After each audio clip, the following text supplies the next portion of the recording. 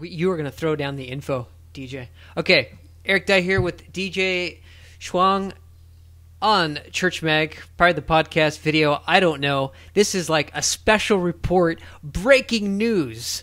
And the reason why that this is such breaking and amazing news is it's about the dot church domain. I mean this this is revolutionary. This is huge. DJ, give us the 411.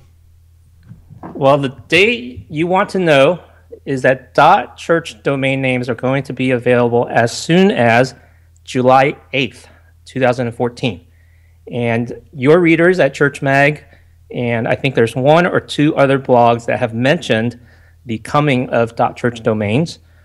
And now it's here, it's upon us. And so starting July 8th for a 60 day period called the sunrise period, mm-hmm. those churches and organizations with trademarks will be able to register their .church domain name.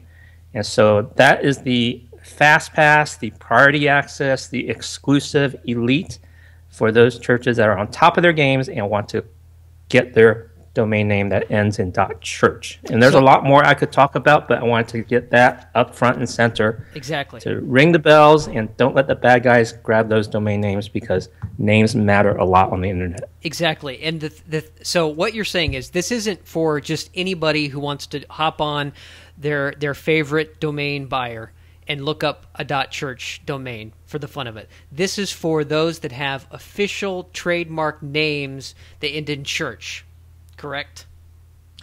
Uh, it's for organizations and entities. And this is where it gets rather technical and there's legalese in it. And I'm not a lawyer and this is not official legal advice. So you really need to read the fine print.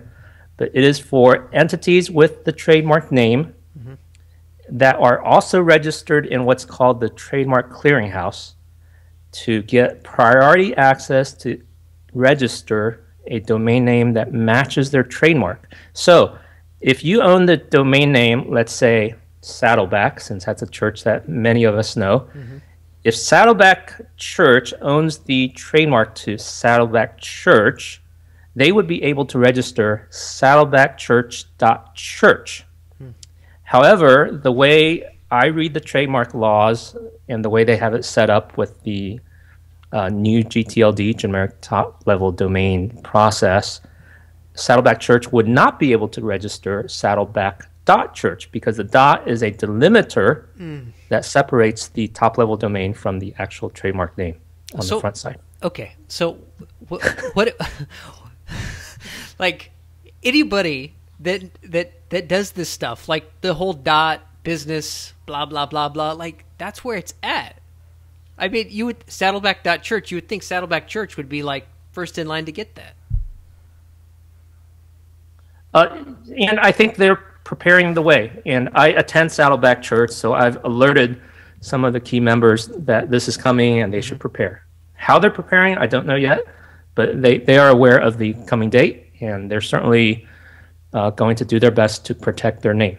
Now, but what, there is a lot of legalese and that kind of junk that makes it harder on the front end. But come September, then it's going to be a free for all, and it's okay. going to be the first person that grabs it. Right now, that that's what I want to get to next.